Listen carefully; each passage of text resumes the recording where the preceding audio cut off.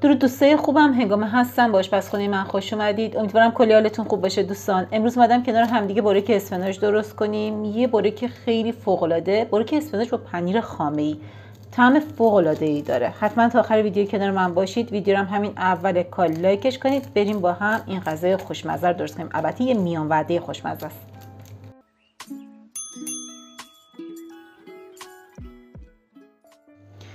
دوستان برای درست کردن برکمون من یک کیلو اسفناج آماده کردم شستم. حالا خوردشون می‌کنم. تو سایز درشت خوب می‌کنم. نه خیلی ریز باشه نه خیلی درشت باشه. ببینید من خیلی زیاد خوردش نمی‌کنم. تو این سایز. همه رو خورد می‌کنم آماده می‌کنم و بهتون نشون میدم. من اسفناجمو خورد کردم. حالا بدون که بهش چیزی اضافه کنم یعنی آبم اضافه نمی کنم نمکم اضافه نمی کنم همینطور درش رو می‌ذارم می‌ذارم روی حرارت که بپزه چون اسفناج خودش آب میندازه. فقط با قاشق زیر و روش کنید موقعی که داره میپزه که موقع ته نگیره. اونم حرارت ملایم باشه ته نمی‌گیره ولی باید همش بزنید تا قسمت هایی که از زیر پختن رو بیان و بالاخره جابجا بشه توی قابلممون. حالا دیگه من اینو درش رو می‌ذارم می‌ذارم رو حرارت تا بقیه کارو بهتون نشون بدم. تا موقعی که اسفناجمون بخواد آماده بشه توی ظرف جدا یه مقدار روغن میریزم. خیلی روغنش رو زیاد نمیریزم. اندازه سه تا قاشق غذاخوری روغن مایه اضافه می‌کنم. یه دونه پیاز درشت رو خورد کردم. تفتش میدم. اجازه میدیم سبک بشه.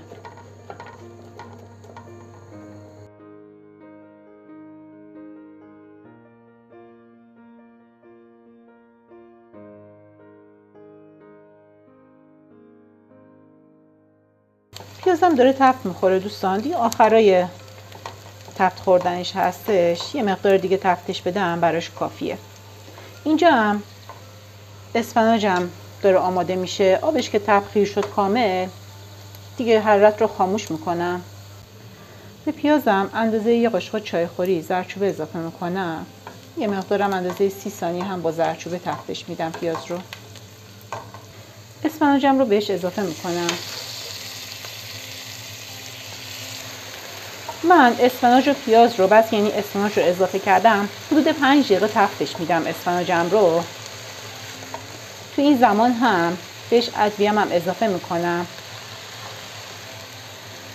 بهش یه قاشق چای خوری فلفل سیاه یه قاشق چای خوری هم پاپریکا اضافه می‌کنم. بعد دوستان یه نکته دیگه بگم. اگه دوست داشتید می‌تونید قبل از اینکه اسفناج رو بریزید سیر هم بهش اضافه کنید. یک دو تا حب سیر بهش اضافه کنید. یه مقدار خیلی کوچیک با پیازتون تفتش بدید سیر رو رنده کنید بعدش اضافه کنید. من بس به ذائقه خودم اضافه نکردم. حدود یه قاشق چای خوری هم بهش نمک اضافه می‌کنم.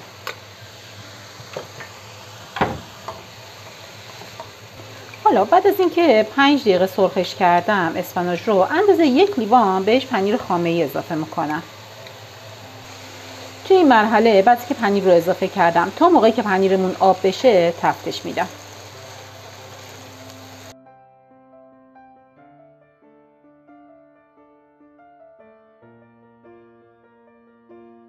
ببین دوستان کامل پنیرم آب شد. حالا این مواد اسفناجیم آماده است. میذارمش کنار تا بقیه کارو با هم ببینیم. توی یه ظرف یک لیوان شیر. اندازه نصف لیوان یه مقدار کمتر روغن مایه با هم دیگه ترکیبشون می‌کنیم.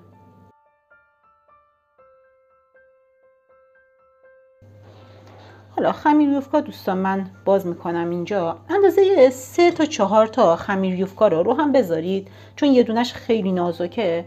بعد حسابی از سوسی که آماده کردیم روش بزنید. کامل طوری که خمیرتون نرم بشه.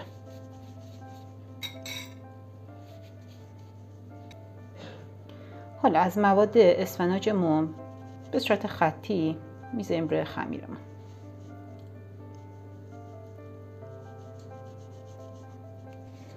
بعدش هم شروع می‌کنیم به رول کردنش دوستان. چون نرم هستش باید خیلی آروم رولش کنیم. میذاریمش داخل سینی فر. خمیر یوفکای منم چون پارگی داشتش می‌بینید دونست شد. اشکال نداره چون ما اینو بعد از پخت می‌خوایم که خوردش کنیم. به این شکل من همه رو آماده می‌کنم و می‌ذارم داخل سینی بوریکامو آماده کردم. سینی که استفاده کردم سینی سی در چل هستش. از یه بسته خمیر یوفکای 800 گرمی استفاده کردم با این میزان. اندازه 10 تا برگ خمیر یوفکامون برای من. یعنی کل 800 گرم استفاده نشد. من هر لایه رو هر یه دونه یوفکا رو چهار تا برگ استفاده کردم. حالا از توسی که داشتم یه مقدار که به وسطش زدم دیدید روی خمیر یوفکامو باش مرتوب کردم. حالا روی کل خمیر یوفکامو هم بعد که گذاشتمش توی سینی با سس مرتوب می‌کنم. حالا روشون کنجد میپاچم. اگر دوست داشتید می‌تونید کنجدتون رو با سیاه دونه هم مخلوط کنید. استفاده کنید که خیلی ظاهر بهتری بهش میده ولی من چون طعم سیاه دونه رو دوست ندارم متاسفانه باش مخلوط نکردم دوستان. حالا دیگه میذارمش داخل فر 180 درجه که از 20 دقیقه قبل روشن کردم فر رو داغ شده. به مدت نیم ساعت تا 40 دقیقه بسته به دمای فرتون تا موقعی که روش کامل برشته بشه. دوستان بورکمون پختش آماده شد. اجازه بدید یکم از داغی بیفته. بعدم برش بزنید. حالا من اینو برش می‌زنم.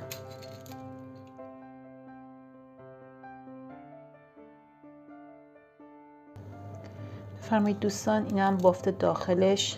روش کاملا ترده داخلش هم نرم خیلی داغه من زیاد نمی‌تونم بهش دست بزنم.